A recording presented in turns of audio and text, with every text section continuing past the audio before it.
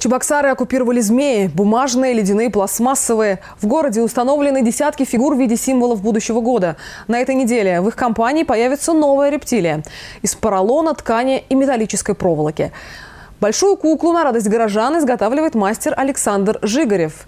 Именно благодаря его стараниям в городе каждый год оживают персонажи животных из восточного календаря. Сегодня в гостях у художника побывали мои коллеги. Змея уже нарядная, пока обитает в квартире мастера и дожидается своего звездного часа. Символ будущего года получился необычайно красивым, дает оценку своей работе Александр. Почти 3 метра высотой, обхватить его под силу только двум взрослым людям. Но главное в этой поролоновой рептилии все-таки голова, говорит художник. Своему существу он постарался придать добродушное выражение. Надеется, что и у горожан при виде такой змеи настроение поднимется.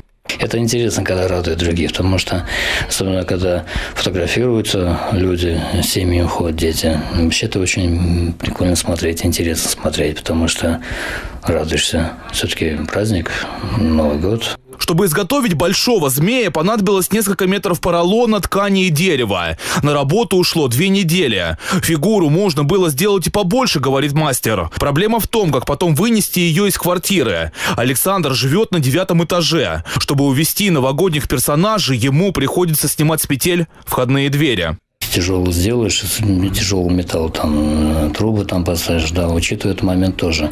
Потому что, да, учитывая до мелочей, и начинаешь продумывать детально прощенный вариант. Вот, да, вот, дерево пускаешь туда, Изготавливать символы к Новому году Александр начал несколько лет назад. Когда других мастеров подводила теплая погода, таял снег и лед, меховые персонажи пришлись кстати. Мышь, бык, дракон – все это тоже было сделано его руками. Правда, к этим символам особую страсть питают вандалы. В прошлом году новогодний персонаж даже украли с постамента. Бывает, единиц попадается такие. Это же ерунда.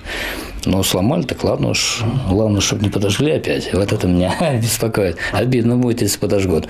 В этот раз новогодний символ мастер сшил по заказу эскизом Калининской администрации. Змея будет установлена возле этой елки. Охранять талисман 2013 года будут сотрудники полиции. Если с символом змеи ничего не случится, то он будет радовать детей на представлениях. В этот раз мастер решил изготовить универсальную игрушку. Сразу после новогодних праздников она превратится в ростовую куклу. Дмитрий Ковалев, Николай Яковлев, Республика.